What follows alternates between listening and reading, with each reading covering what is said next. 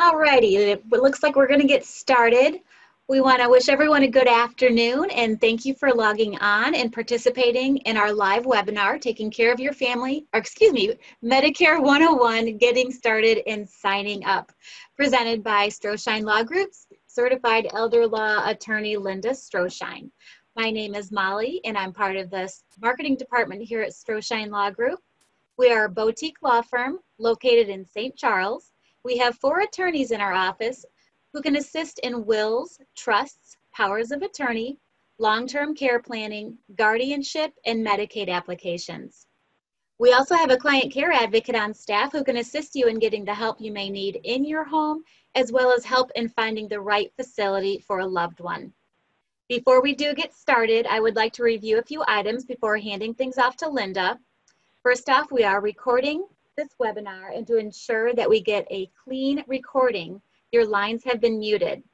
So that means if you have any questions as you are listening, to please use the Q&A panel in your control bar located at the bottom of your screen. And we will try to do our best to answer as many questions as possible. So to kick things off, we are gonna um, ask you to answer a quick polling question and as you do that, I'm going to hand things off to Linda, but I do want to make everyone aware that Linda had a little bit of an issue trying to um, log in, so we won't be able to see Linda, but we certainly will be able to hear her. So as I... Uh, I'm here, I'm here. yes, Linda is here, but we can't see her face. So um, everyone just um, get started with the uh, polling question, and Linda, it's all you. Excellent. Molly, thank you so much for that very warm welcome. And if you'll just let me know when the poll question is complete. But otherwise, our topic today is Medicare 101, getting started and signing up. And I always start this presentation with a little story about my own uh, my own family situation. When my mom was uh, nearing the age of 65, she uh, she started to get all of those um, Medicare supplement information in the mail, and she probably got the Medicare and You booklet as well. And she said to me, she called me up and said to me one day, Linda, do you have any idea what all this is? I can't make heads or tails of it. And I said, you know, I, I don't know, but go ahead, give me a try. So I had her bring it all over. It showed up in a, a big pile of uh, mail and paperwork in a Target bag. So, like many of my clients, that's how I get documents. So I tried to sort it out, and I think what I probably sh- should have done was sat at my dining room table and kind of spread everything out so I could really get the lay of the land. I didn't do that. I tried to organize it sitting in um, in the car. We were in a, my husband and I were in a car trip, and ultimately I I couldn't make heads or tails of it either. at that point, I realized, you know, my mom is not the only one who needs this information. I felt like I needed to learn it more as well, even though I'm, of course, not of Medicare age but um, because my clients were asking questions. And so this program really started out of that situation where my mom and I were really trying to figure out what was best for her and how did we how did we get the information we need to move forward. So um, so that's that's why we're starting today. Molly, Perfect. do we have that uh, poll question? Yes, I'm not sure if you can see the actual results, Linda. I'd be happy to share them with you. Yeah, I cannot, so go ahead. Okay. Well, it looks like about 40% would like to share some of this information that you're going to share with their clients. And then another 40% are just curious about the subject matter. And then we have about 20% that are planning on uh, getting ready and planning ahead. Got it. Perfect. All right. That's really helpful to me because especially in this new age of all these webinars, and in this case, a phone seminar, um, it's helpful to me to better understand um, who's in the audience. And like Molly said, if you have any questions, go ahead and pop those in the chat box, or I guess it's a Q&A feature, excuse me. And uh, Molly will monitor those and be able to uh, to jump in and um, and I'll answer those as we go along. So feel free to jump in at any point. You don't have to wait to the end of the presentation. So let's move on to slide number two and let's talk a little bit about our agenda for today because we've got several things to cover. We are going to talk a little bit about open enrollment so you have a sense of what's going to happen and when. We're going to talk a little bit about the different parts of Medicare. uh, also supplemental insurance, because even though it's not a traditional part of Medicare, supplemental insurance really does make a big impact on your coverage. The enrollment dates and various coverage issues that we see. Um, so we've got a lot to talk about today. All right, let's go on to the next slide. And again, open enrollment, Medicare income taxes, Affordable Care Act. Um, it can be complicated, but I often tell my clients, relax, we're going to learn this together. It's not that complicated. Um, it just takes a little bit of time to get through. So let's move on to the next slide. Because we do see that healthcare reform has affected Medicare. Now, the Obamacare or the um, uh, Affordable Care Act, as it's more officially called, you might recall this was signed into law back in March of 2010. Now, even March of 2020 seems like it was forever ago, but add an additional 10 years to that. And we've been working through uh, the changes that the Affordable Care Act has brought. And even though there's been a fair amount of contest to the program over the last couple of years, um, overall, it's still a very good option in being able to uh, to address our healthcare needs and the changes that came about because of the Affordable Care Act and how that has affected Medicare. So let's move on to the next slide, how Medicare benefits are changing for 2021. Every year there are slightly new changes that we need to be aware of when we are looking at um, uh, open enrollment each year. So always a good idea to take a look at your health insurance to know what is going to be covered, um, not just blindly renew with the same company for the next year. Okay. So for example, we look at Medicare Part A, um, the Hospital Insurance Trust Fund. At this point, the experts are expecting it may be depleted as soon as 2026 unless Congress acts before then. So this is actually a part of our everyday because that um, that new program that was um, uh, putting a halt on payroll taxes. So for those of us who are working, putting a halt on our payroll taxes means a little bit more in our pockets every week when we get paid. However, that really will have a major impact on both Medicare and Social Security. So we're going to be hearing a lot more about um, the Hospital Insurance Trust Fund and how those benefits will be impacted. So that those short-term gains while we deal with this COVID crisis um, may really impact uh, the long-term longevity of the Medicare program. As before, supplemental plans F and C are no longer available. Um, it was interesting when they made this change. Um, this became effective this past year, but um, it's really uh, still a part of our program this year. Um, Congress believes that by requiring beneficiaries to pay their Part B deductible, medical overuse will be reduced. And so the idea here is that with with parts uh, F and C, or C and F, whatever, um, there was no Part B deductible. And so it was a whole lot easier, even though you paid your premiums every month, it was a whole lot easier and a lot less cash out of pocket to go to the doctor. And the experts are finding a fair amount of medical overuse uh, with these two supplemental plans. So I don't know about you, but I don't necessarily want to go to the doctor any more than I have to. Um, so, but we'll see if that actually comes to fruition. However, if you already have a Plan C or a Plan F for your Medicare supplement, you can continue to keep that intact. Um, and even if you were qualified for Medicare be, uh, um, prior to this change in 2020, then um, then you can still keep it intact. So, for example, as I mentioned, I am not yet of Medicare age, so I will not be able to ever purchase into Plan C or F. Um, but those of you who were qualified for Medicare prior to 2020 can still purchase it even if you did not have it at this point. So, but there's some flexibility. It's not as straightforward um, as it sounds that those are no longer available. So if you're interested in it, ask some more questions.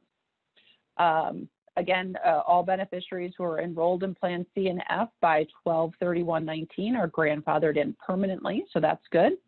And then as long as you're eligible for Medicare before 2020, you can still sign up for that first dollar coverage, even if after they're discontinued. So again, that Plan C, Plan F is still available. All right, let's go on to the next slide. We've got some Medicare coverage issues we're going to look at.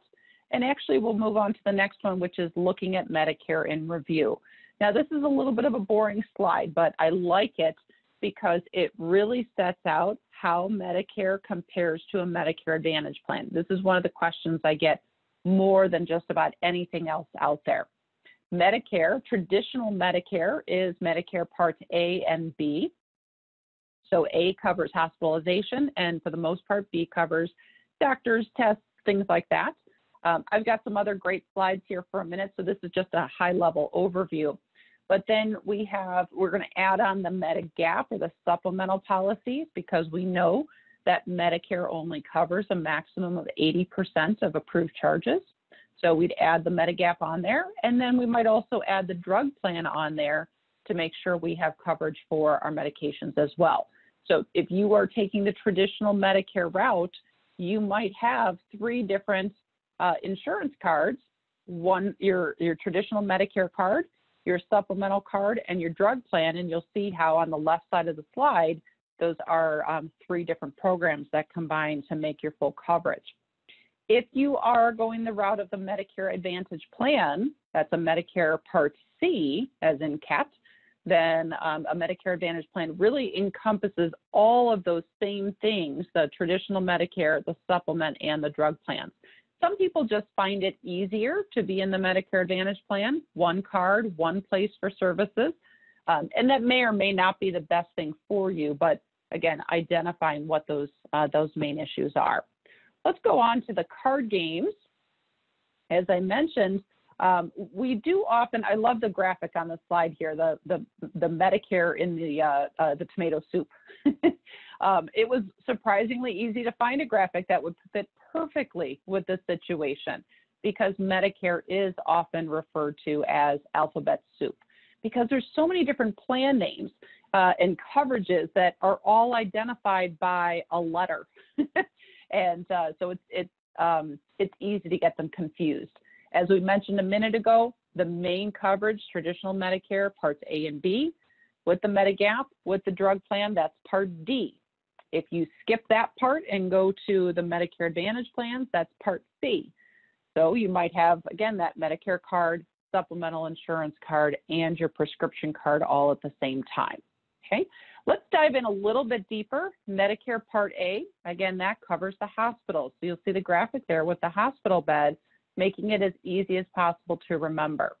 Medicare Part A helps to cover inpatient care in hospitals, that includes the critical access hospitals, inpatient rehabilitation facilities, that would be um, inpatient rehab in the hospital. There's a few of those around, and then long-term care hospitals, okay? Medicare Part A also covers hospice services. So again, I get a lot of questions about that. Where is that coverage coming from? It is from Part A. Home health care services uh, are also covered under Part A and some cost of the skilled nursing facility, but not custodial care and not long-term care. So um, this part of Medicare, uh, Part A will cover a maximum of 100 days um, of skilled care, okay? Let's go on to the next slide. Medicare Part B, the medical insurance. Um, again, you've got the little doctor on there. And so Medicare Part B helps to cover doctor services and outpatient care. Medicare Part B also covers some of those preventative services to maintain health or to keep certain illnesses from getting worse.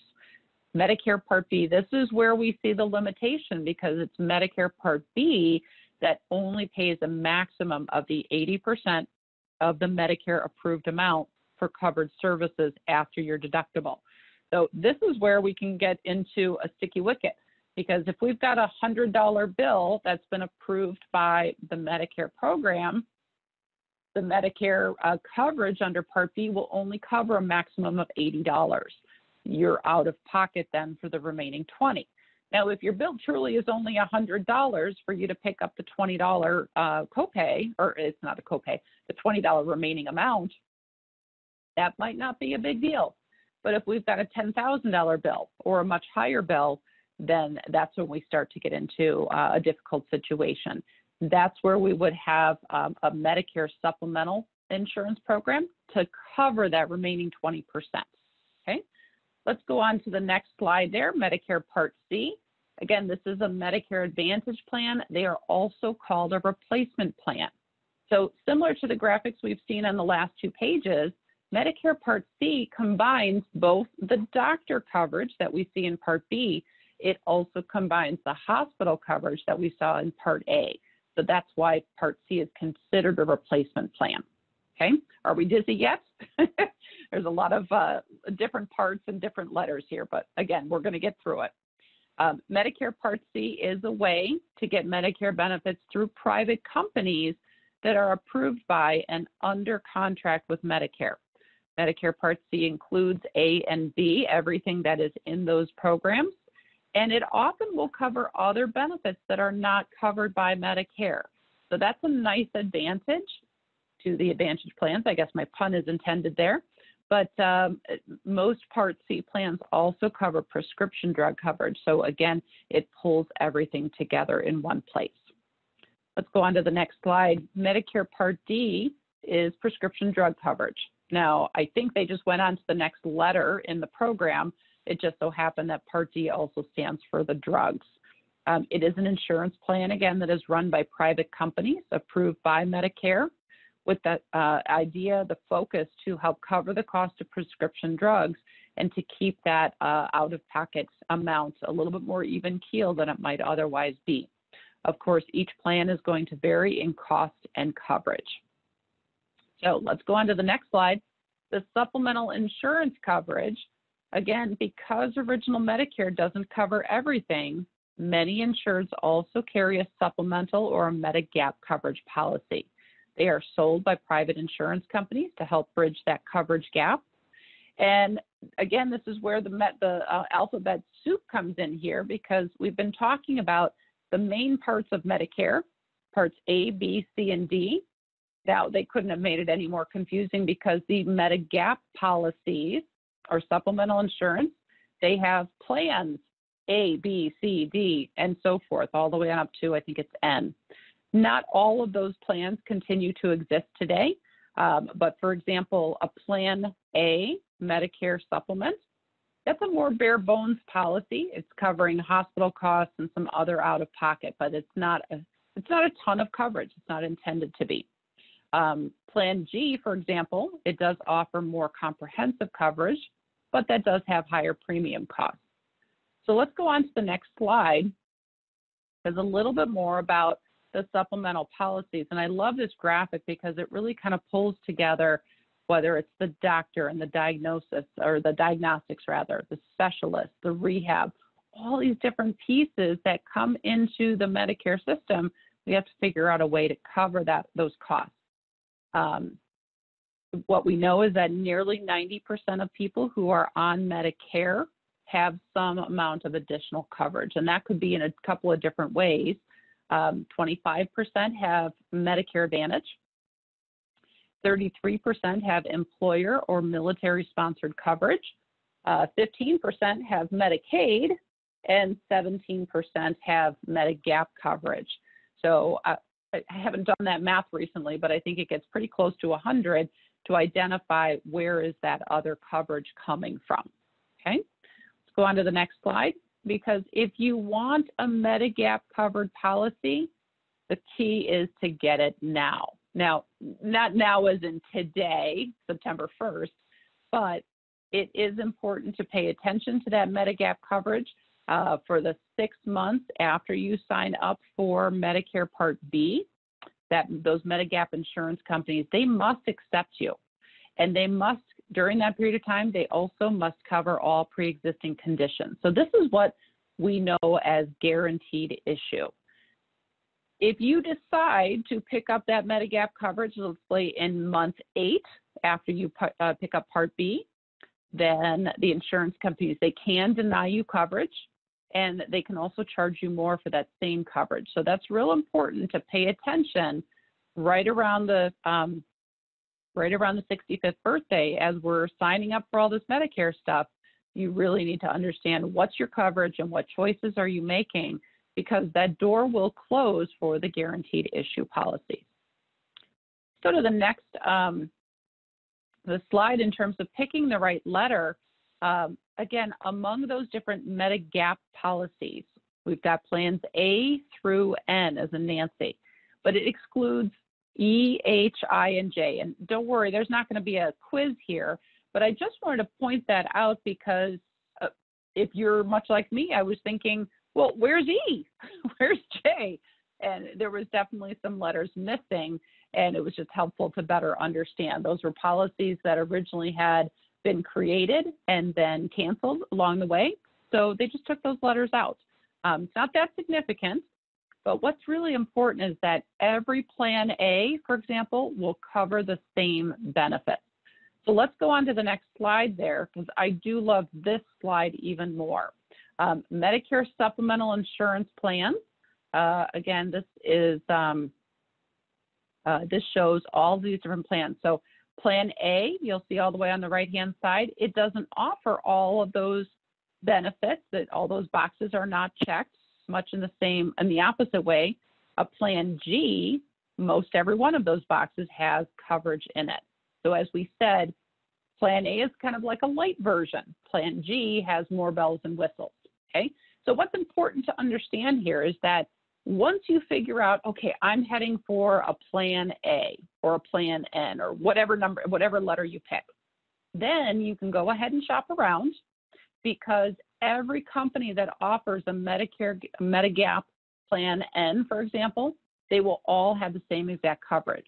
So then you can go to Blue Cross Blue Shield, you can go to Humana, you can go to United Healthcare, or whoever offers a Medicare Medigap plan N, all the plan Ns are the same. Okay, so now we're comparing apples to apples to figure out what's the best cost. Okay, um, so those are just some important things to be aware of. Let's go on to let's go on to the next slide where we see some of the changes to Medicare Advantage plans. Some of the cost savings, most of the cost savings that we saw in the Affordable Care Act were in the Medicare program, and we have seen some of these significant changes over the last few years. Those basic Medicare benefits don't change, but the Advantage plans really kind of got the brunt of the cost cutting. Um, Medicare had been paying the Medicare Advantage plans uh, a little bit higher than other plans, and um, and they ultimately determined that that wasn't the best cost measure for the benefits that were available. Let's go on to the next slide and talk a little bit about, more about the Medicare Advantage plans. Nearly 12 million Medicare beneficiaries get their health insurance from private Medicare Advantage plans. And again, if you like that all in one coverage, a Medicare Advantage plan might be right for you. One insurance card to carry in your wallet, one place to pay attention to where your benefits are, one number to call. So less coordination of benefits. And as we look at the question, do we need an advantage? Okay, do we need that advantage plan? Some of the things that we are told to look at is first of all, do you have a retiree health insurance plan? Is there benefits available to you from your uh, former employer? Then you you might not need the advantage plan. Okay, so talk to your benefits administrator before switching. Number two, are you or your spouse still working and do you have group coverage available? Again, that might be a better alternative if you have something available through work, in which case you don't have to sign up right at your 65th birthday, but you do have to have a plan. Number three, are you in your six month open enrollment period for Medicare Gap or Medigap, or will you be soon?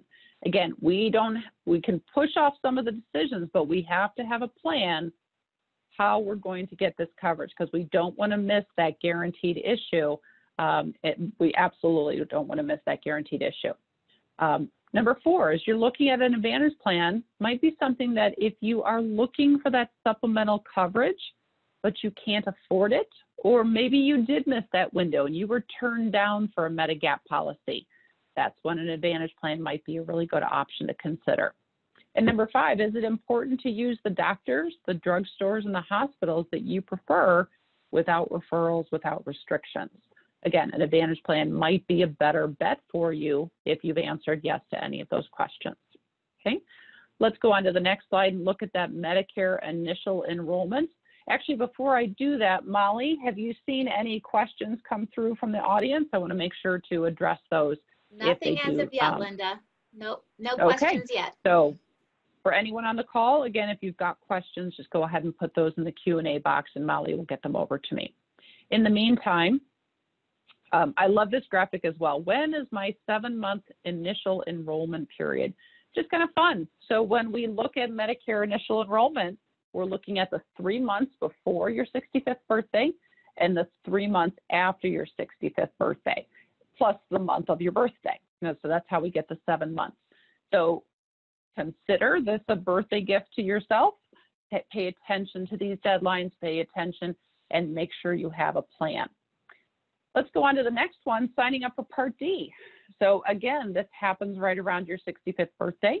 Uh, the sign up period is the same for Part D as it is for original Medicare, the three months before or after you turn age 65. With Part D, you also have 63 days from the date your Medicare, your retiree, or other coverage ends. Okay?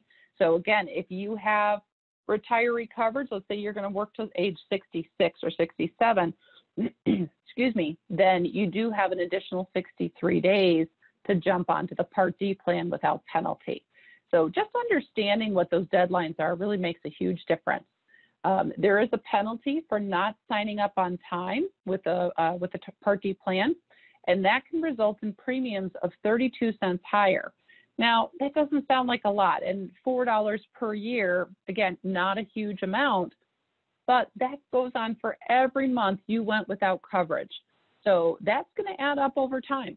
Okay. And again, that penalty very similar for uh, the Medigap. If you don't sign up on time, you could have a penalty there, and that could be more costly. Okay, let's go on to the next slide. Again, that Medigap initial open enrollment. Starting with the date you are covered under Medicare Part B, you have a six-month period to sign up for supplemental policy.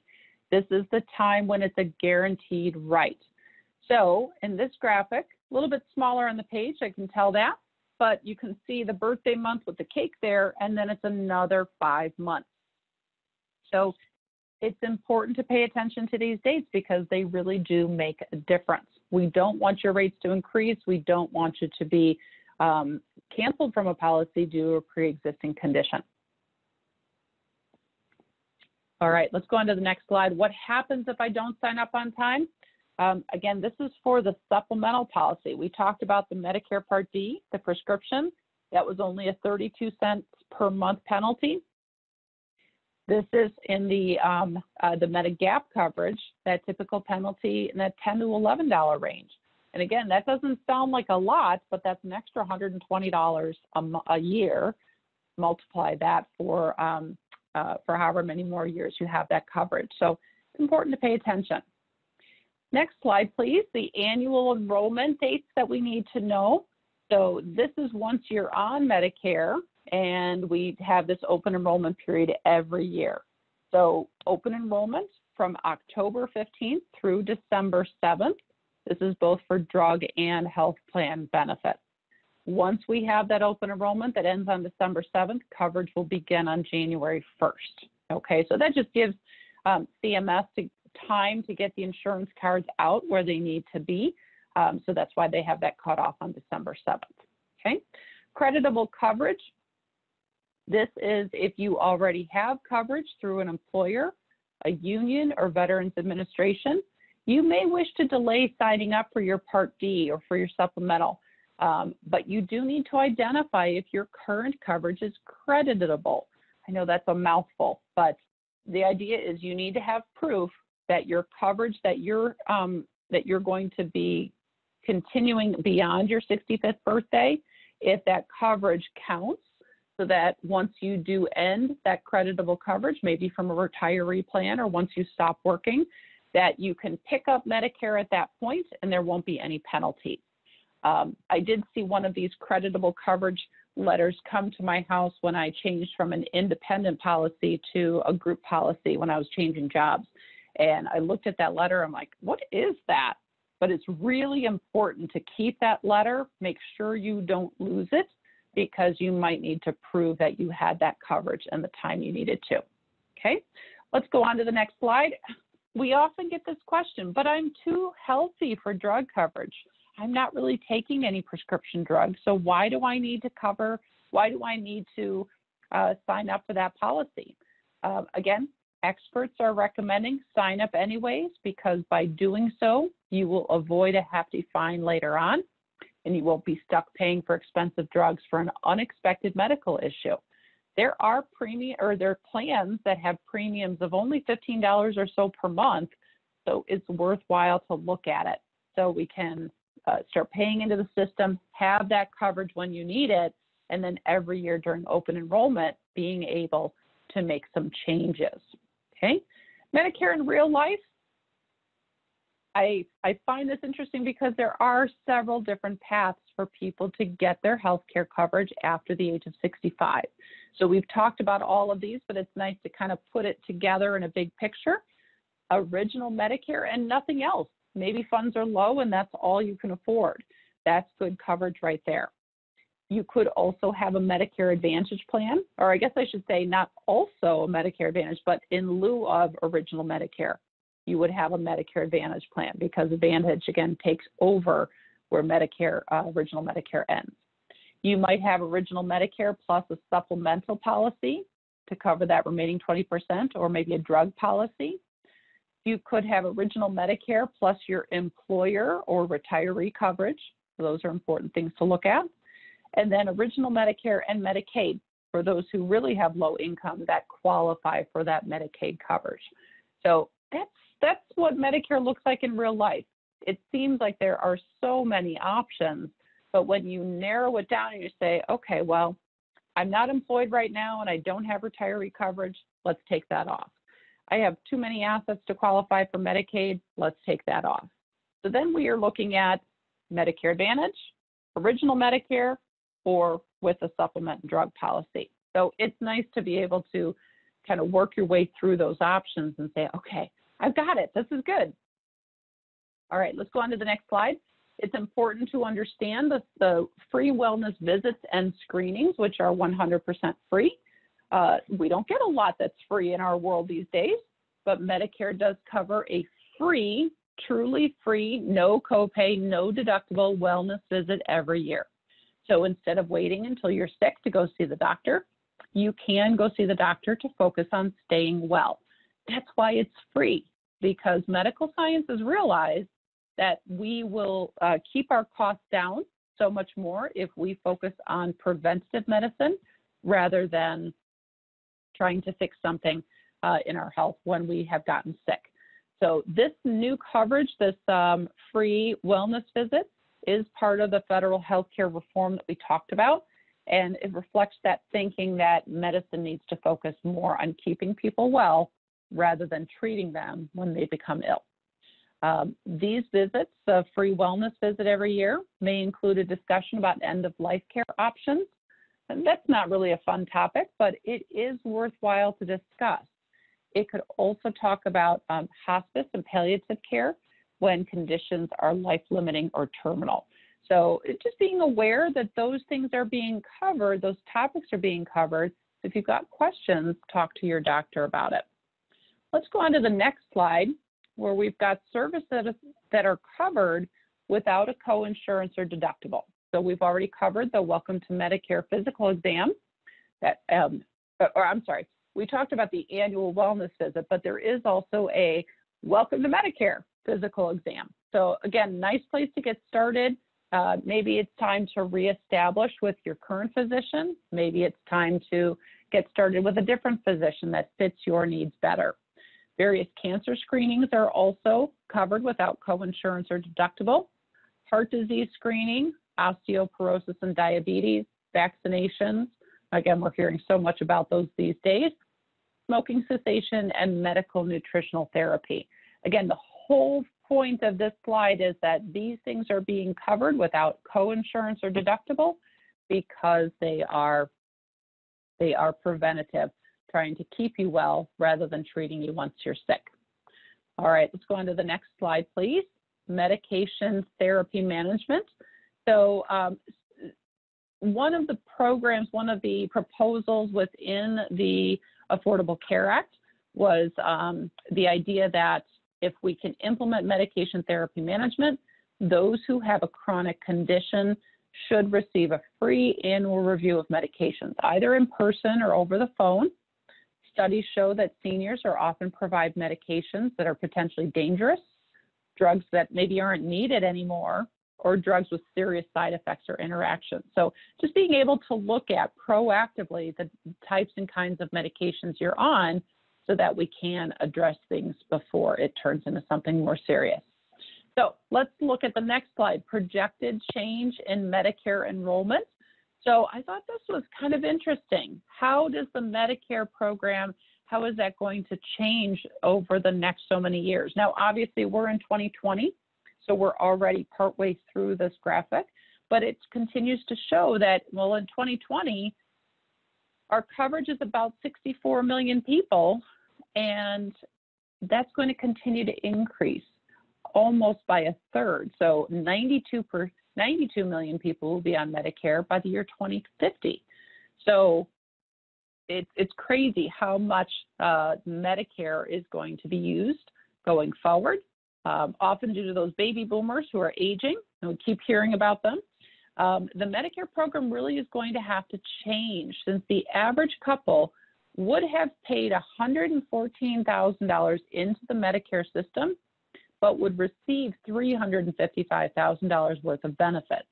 So even if we didn't see the population growth, knowing that the average couple pays in 114,000 and receives nearly three times those benefits, we know that this program cannot be sustained at its current level without uh, with such that vast increase of beneficiaries and fewer individuals play, paying into the system behind them.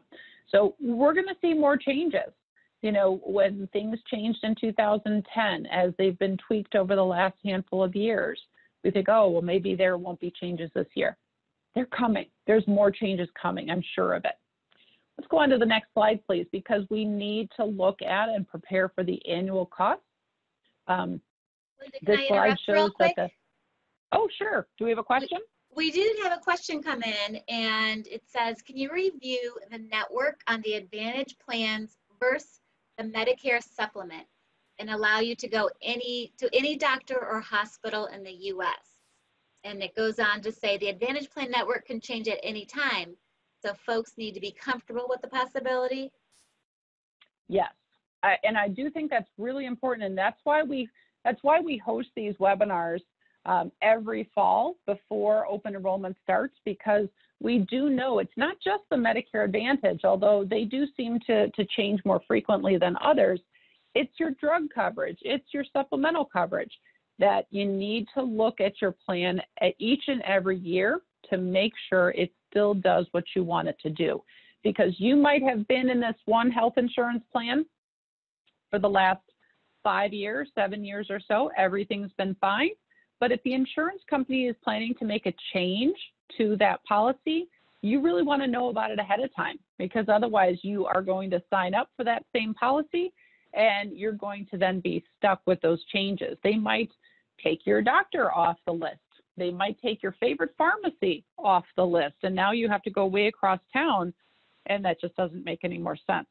So again, that's where um, on our current slide where we look at how do we prepare for those annual costs um, it's not just you know it's not just the the cost of the prescription drugs. There's so much more to it, and um, and this slide shows the share of average total household spending on health related expenses. So for those who um, uh, that's twice as large. Those expenses are twice as large for Medicare households than for non-Medicare households. So it's important to be aware of you know, what your costs are going to be and try to plan as best we can. All right, let's move on to the next slide. What's not included? Okay, Medicare does not include long-term care costs beyond 100 days. So what does that mean? As a Medicare beneficiary, if you uh, if you have a stroke, if you trip and fall, if there's some reason you go to the emergency room, eventually you're admitted to the hospital and you're there for a three overnight stay then when you go to the skilled nursing facility for rehabilitation, you do have a maximum of 100 days of coverage. And we're going to talk about this more in just a few minutes. But Medicare does not cover beyond that 100 days of coverage. Medicare, and it makes sense why. But you know, many of my clients, oh, that that seems too short. We need more. But it does make sense why. Medicare is health insurance, right? Medicare pays when you're getting better. If you fall and break your arm, your insurance company is going to cover for um, a cast and an x-ray and physical therapy and all that. But it's not going to pay for other things unrelated to that. So Medicare pays for long-term care in a nursing facility, but it doesn't ever extend beyond 100 days because at that point, Medicare system says, this is now your new normal. This is not you getting better. Okay. Improvement can still come, but it's not, uh, it's, it's not on their radar. Medicare also does not cover the routine physical exams beyond that uh, welcome to Medicare and then the annual wellness exam. But just recognize that there are differences between the annual wellness exam and a physical exam. So again, ask your doctor what are the differences so you know what you're getting and if you what kind of uh, appointment you need to schedule. Routine dental or vision care is not included. Of course, cosmetic surgery, acupuncture, and hearing aids are also not included under Medicare. So we bring these up because these costs do need to be factored into your budget for medical expenses. Okay, let's go on to the next slide.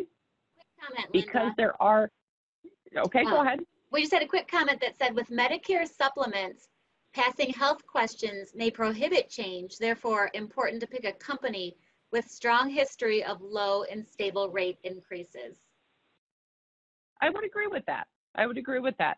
Um, there might be newer players in the industry, uh, but if they can't, you know, if they can't be that stable uh, guidance that you need, um, you might want to look elsewhere. Okay. So the coverage issues that we see that are so important um, is uh, is an issue with regard to either inpatient or observation status at the hospital, and then also with regard to the improvement standard, or really rather the fictional improvement standard at the nursing home. So let's go on to the next slide so I can tell you a little bit about the 100 days, the 100 day rule we've just briefly talked about. So in 2020, Medicare Part A will cover um, the first 20 days, there is no copayments. There's no cost to the patient for that Medicare covered rehab. Again, this is following the hospital stay, at least a minimum of three overnights. Now, that three midnight rule was uh, was put on hiatus during the COVID pandemic. I haven't seen any anticipated changes to that, but I would imagine we'll see that sometime in 2021.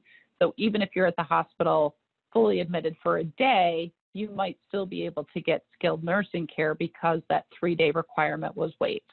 Anyway, so when you're in the nursing home, those first 20 days paid 100% by Medicare. That's why the, the cost to you is $0 per day. From days 21 through 100, the individual would pay uh, a copay of $176 per day. Now, that $176 is often covered by your supplemental health insurance. Okay, so again, that Blue Cross Blue Shield plan uh, often will pick up that $176 per day. And then after day 100, again, you pay everything because Medicare only pays up to day 100. So it makes sense to be aware of where you are in that process. If you are in the skilled nursing facility, get the details from the facility. How many Medicare days specifically did I use or did my loved one use? It's also important to note there's a new benefit period that begins when you have not received any hospital or skilled care in the skilled nursing facility for 60 days in a row. That's a new benefit period. Okay. All right. Some changes we've seen to the nursing home uh, payments from Medicare. Um, we are absolutely seeing this. Um, this is actually a copy of the slide I started uh, presenting on 10 years ago when the Affordable Care Act was implemented. And I have to admit, I saw this in my research, but I didn't really know how this was going to be impacted.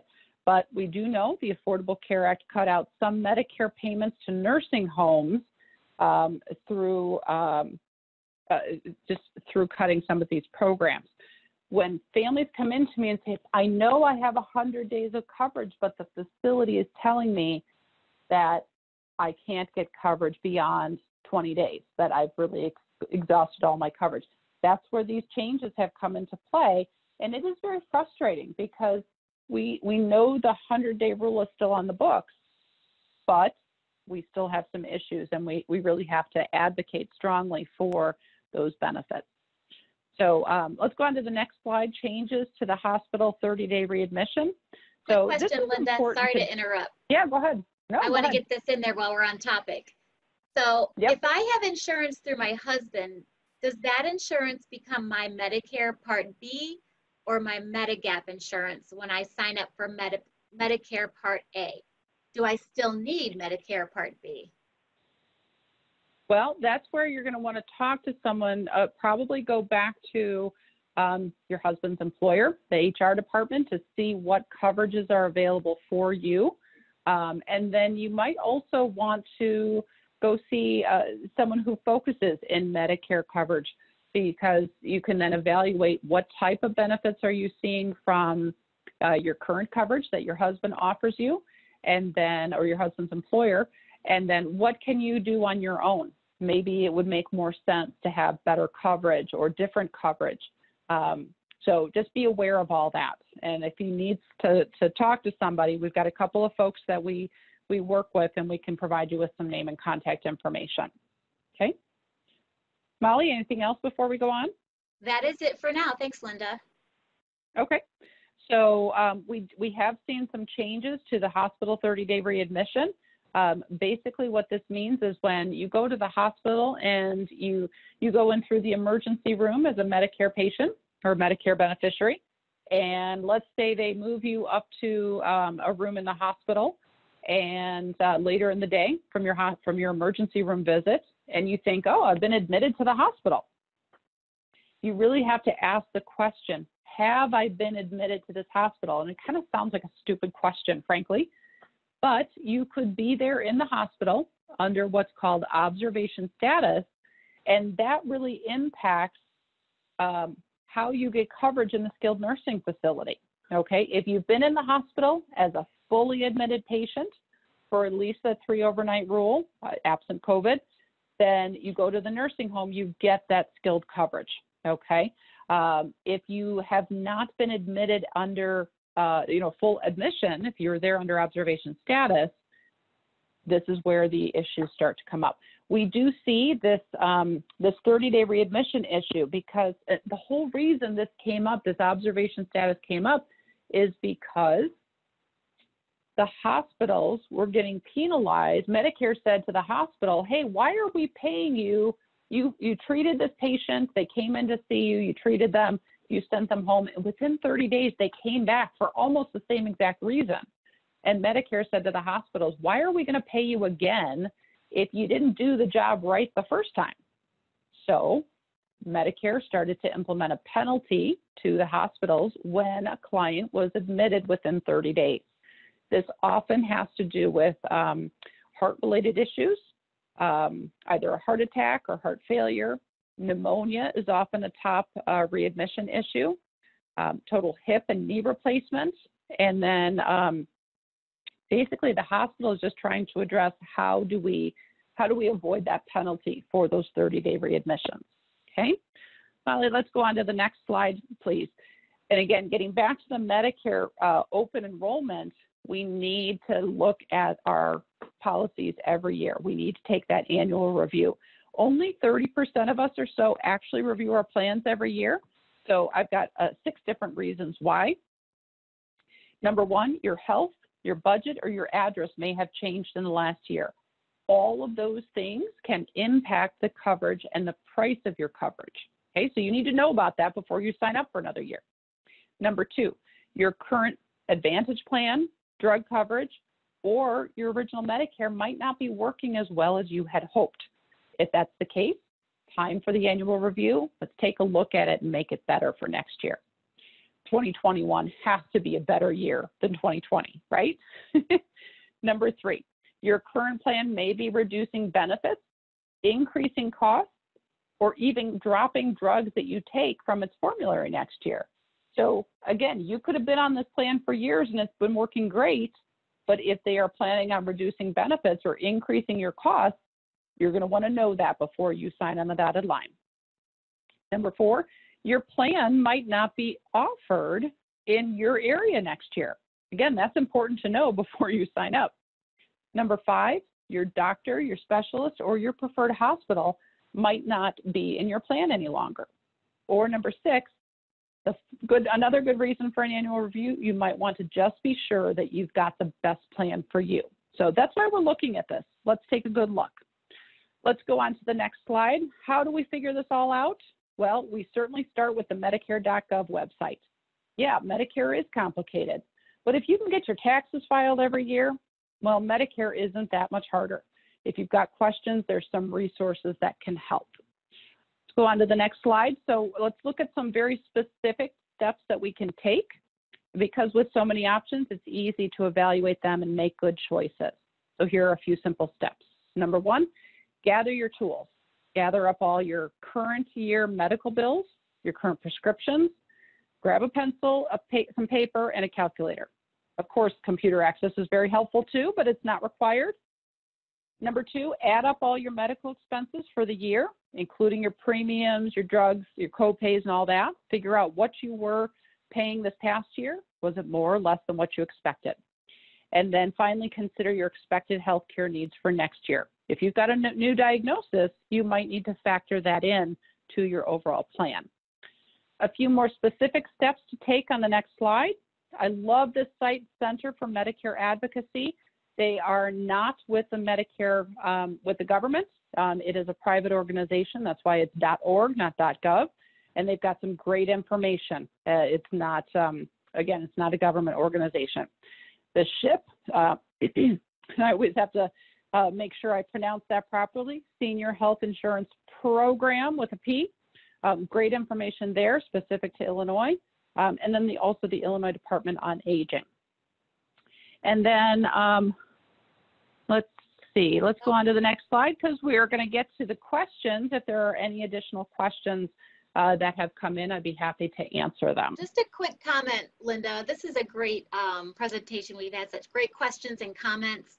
Um, we have a comment that says, once you are on group retiree benefits, you need to be very careful about changing to an individual plan. Many times, group advantage plans have lower out-of-pocket expenses. In addition, once you leave the group, most times you're not allowed to go back. That, you know what, that's an important uh, thing to mention, and I'm glad that uh, whoever uh, added that to our discussion. Again, being aware of what your coverage is and when it changes, how that's going to impact your out-of-pocket, uh, because those plans are very different. So you want to know about that ahead of time. Absolutely Is there anything else that we need to cover, Molly? Um, looks like one more question. It says, is open enrollment for Medicare supplement, wait, let me read that one more time. Is open enrollment for my Medicare supplement or only for Advantage and drug plan? Uh, open enrollment is for all of those different pieces, yes. Perfect. Okay. So as we know that um, when it comes right down to it, what we're talking about is protecting what matters. Learning more about the Medicare program really does protect what matters because then you're confident that you have the information you need to make the best health insurance decision for you. So we do have a whole series on Medicare this month. And uh, Molly, I'm going to turn it back to you for some closing remarks. And I don't know if you've got the dates or topics for our next programs, but um, I'm going to turn it back to you. Thank you yes. so much for having me today. For sure. This is such a great presentation, Linda, and so much information. We've had such great questions and comments. Mm-hmm. So we want to thank everyone for joining us. And we like to encourage everyone, like Linda said, to um, continue with us in our uh, September series. Our next presentation will be on September 15th. The title of the presentation is called Medicare Coverage Issues, Observation Status, and the Improvement Standard. So by joining us, we just ask that you go to StrohscheinLawGroup.com, click on the events tab, and you can register there. So on behalf of myself and Linda and Vicki, who runs the show in the back, we thank everyone for joining us today. And as, um, as a follow-up, I had a few questions regarding um, getting a copy of the um, presentation along with the recording. You will absolutely get that. And um, we thank you again for joining us.